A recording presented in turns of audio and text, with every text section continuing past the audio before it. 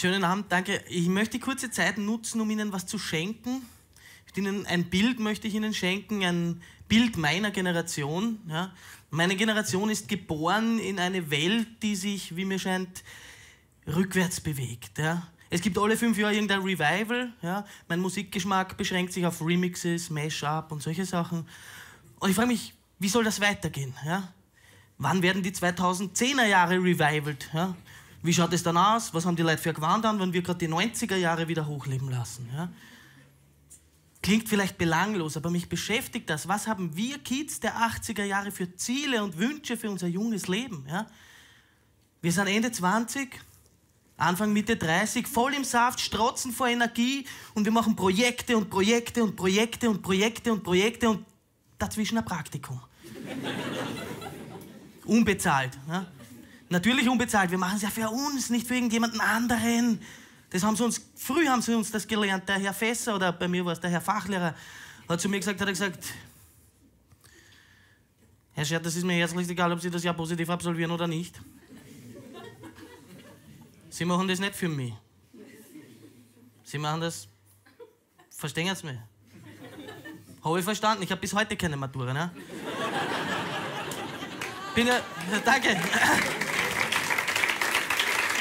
Aber ich bin ja auch kein Egoist, ne? nur für mich, nur für mich. Ja? Aber dieser Satz des Pädagogen, der hat mich geprägt, mich und meine ganze Generation. Ja? Diese permanente Aufforderung zur Selbstverwirklichung. Ja? Das ist oft mehr Laster als Privileg, finde ich. Ja? Aber dann denke ich mir, hey, wir sind die Jungen, die Kreativen, wir haben permanent Ideen, wir beweisen uns, wir sind schneller als die anderen, wir sind kreativ, wir sind sozial, wir sind kompetent, wir sind sogar sozial kompetent. Und wir sind motiviert, wir sind so, ich bin so motiviert, ich gehe nach einer Sechs-Tage-Woche, gut, das stimmt jetzt nicht, ich gehe nach einer, wie soll ich das jetzt sagen? Ich gehe nach einer harten Woche am Wochenende noch zu Orientierungsseminaren, auf Weiter- und Fortbildungsabende, zu Workshops. Bin schon zu Tode geworkshopt. Ja. Bin schon so weit fortgebildet, dass ich mich oft frage, Havara, wo bist du daheim, Alter? Ja.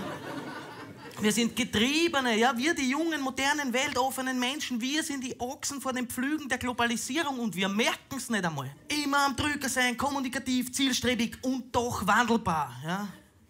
Die Attribute, mit denen wir uns in unseren Bewerbungsunterlagen schmücken, scheinen schier endlos zu sein. Ja? Warum wir die Besten für diesen Job sind? Alter, was ist das für eine Frage, bitte? Weil wir so fortgebildet sind, Alter. Ja? Was müssen wir, ja, na wirklich ist es so, was müssen wir alles sein, nur um ein unbezahltes Praktikum antreten zu dürfen? Ja?